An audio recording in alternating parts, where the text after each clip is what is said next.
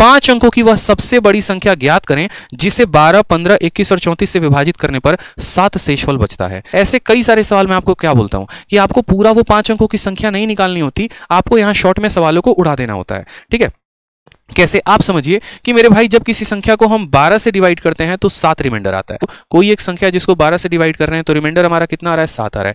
ठीक? जो संख्या 12 से डिवाइड होगी, क्या वो तीन से भी डिवाइड होगी? बोलोगे हाँ सर, तीन से भी डिवाइड होगी, बस। तो आप यहीं पर समझो अगर हम उस संख्या को तीन से डिवाइड करें तो क्या होगा? यानी हमें इस सात को भी तीन से भाग करना पड़ेगा और सात को तीन से भाग करने पर रिमाइंडर कितना आएगा? वन यानी हमें वो ऑप्शन को टिक करना है जहाँ पर तीन से भाग करने पर रिमाइंडर हमारा वन आता है। ये हमारा तीन से खत्म, तीन से खत्म, तीन से खत्म, सात, पाँच, बारह खत्म, यानी ये आंसर नहीं हो सकता। नौ नौ नौ खत्म, आठ और सात, पंद्रह, तीन से कट जाते हैं, नहीं होगा। नौ नौ नौ खत्म, छह खत्म, सात को जब हम तीन से भाग करते हैं रिमाइंडर हमारा कितना आता है? वन आता है। यानी ऑप्शन नंबर जो डी है करेक्ट आंसर हो जाएगा।